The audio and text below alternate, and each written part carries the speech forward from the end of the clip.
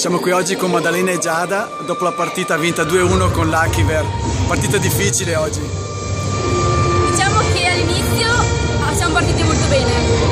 Nel secondo set abbiamo, dire, abbiamo fatto casino, confusione, perché non chiamavamo la palla, oppure sbagliavamo le battute schiacciate, però, però da set, al terzo set ci siamo ripresi. Adesso ci aspetta il girone delle prime.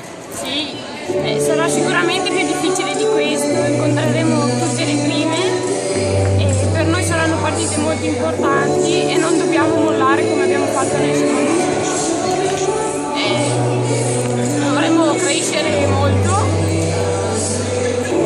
In bocca al lupo per le prossime. Ciao. Ciao.